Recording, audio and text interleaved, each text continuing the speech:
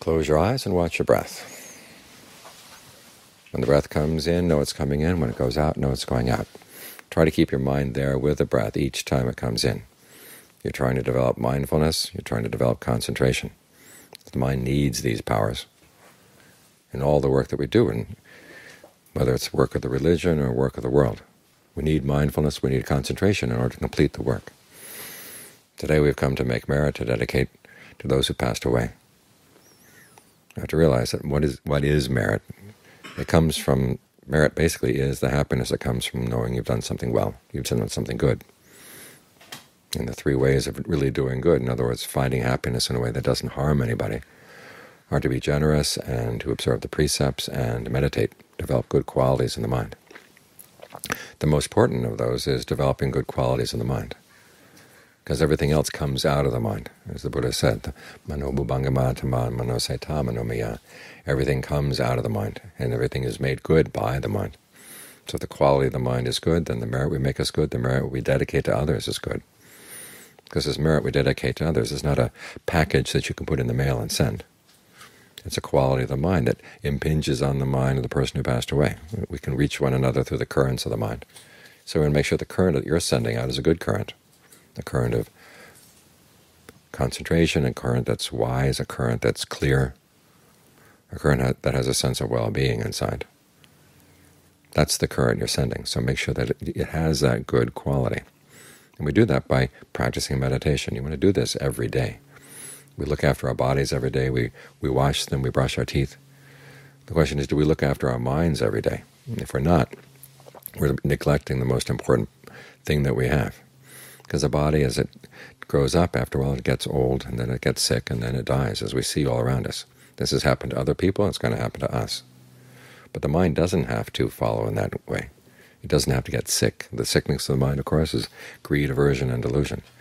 It doesn't have to get old. It doesn't have to get to the point where it just doesn't have any energy to do good. And it doesn't have to die. The mind just keeps going on and on and on. Even with the death of the body, the mind keeps going on. The question is, when it goes on, is it going to go on in a good condition or a bad one? This all depends on the shape that you put it in right now. So try to work on getting the mind in good shape every day, every day, every day. Take some time to meditate to make sure that your merit, that for both for yourself and for the, that you're going to be dedicating to others, is complete merit. If your merit isn't complete, it's like a, a package. You've sent a package, a gift to somebody else, and they open it up and the batteries are missing, or parts of it are missing. You don't want to send a present like that. You want to send something that's complete and it can be used right away. So you want to make sure that your your merit is complete in your generosity, in your virtue, and in the good qualities you develop in your meditation. Learn how to spread goodwill to yourself and goodwill to others, and then live in line with that goodwill by finding a happiness inside that doesn't harm anybody, doesn't harm yourself, doesn't harm others.